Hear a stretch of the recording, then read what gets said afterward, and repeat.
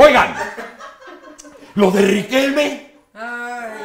No me estoy refiriendo a aquel gran actor, ¿te acuerdas?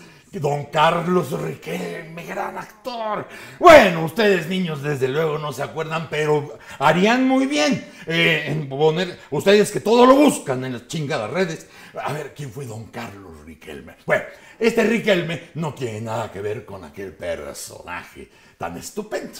El Instituto Nacional Electoral determinó que Miguel Riquelme, candidato del PRI a la gubernatura de, Co- de Coahuila, sí rebasó los topes de gastos de campaña. ¡Qué raro!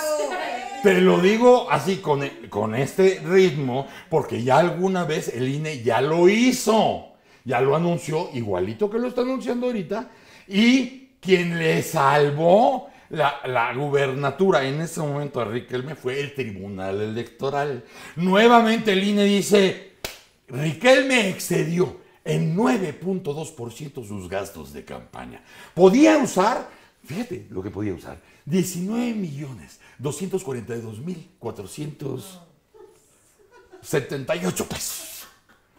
Pero gastó 21 millones 14 mil 700 pesos. La ley dice que cuando hay un rebase del 5% del tope de campaña, el proceso se anula.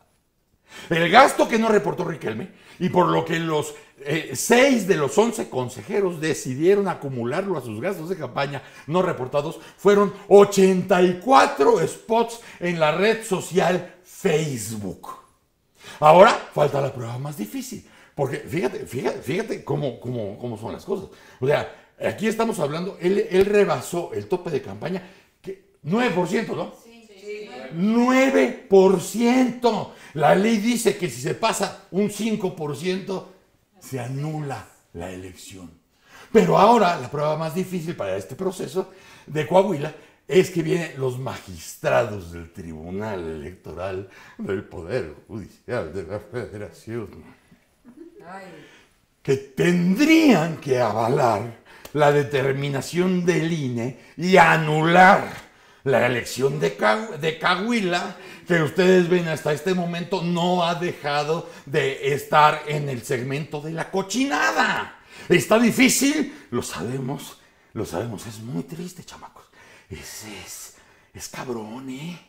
Es cabrón, se ve difícil. El Tribunal Electoral del Poder Judicial de la Federación ha trabajado de abogado de Riquelme y del PRI. Es el mejor abogado que pudieron haber tenido. Esta, este dictamen tendrá que salir antes del primero de diciembre, que es cuando tendría que tomar posesión. Ya la hizo una vez el tribunal en el caso de Riquelme. ¿La puede volver a hacer? Sí, la puede volver a hacer. ¿Estamos de la chingada? Sí, en efecto, estamos de la chingada. Afirmativo, pareja.